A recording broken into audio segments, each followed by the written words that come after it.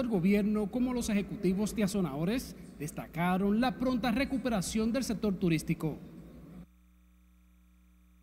Con el corte de cinta, el primer mandatario y los ejecutivos de la Asociación de Hoteles inauguraron la feria virtual de Azonadores en momentos en que se hacen esfuerzos por relanzar el turismo abatido por la pandemia.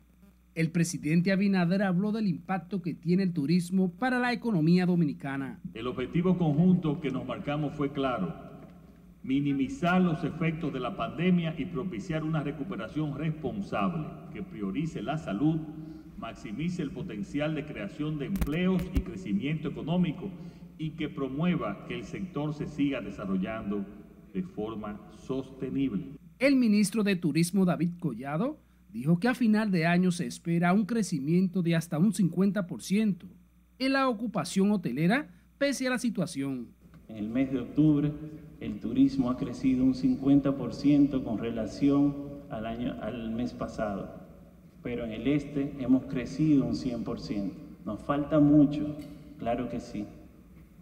Nuestros aeropuertos recibieron en junio mil pasajeros pero en julio, agosto y septiembre superamos la barrera de los 100.000.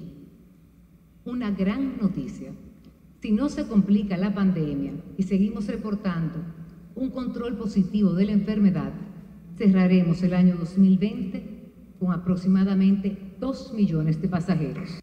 El mandatario más temprano dejó inaugurado en el AILA una terminal de carga de las Américas con una inversión de mil millones de pesos. El Aeropuerto Internacional de las Américas en Santo Domingo siempre ha jugado un papel importante en el movimiento de más del 60 de toda la carga aérea que entra y sale de República Dominicana. De ahí que en Ports hayamos visto el potencial de este aeropuerto. También se iniciaron las obras de extensión y renovación del atrio central de la terminal de pasajeros de las Américas.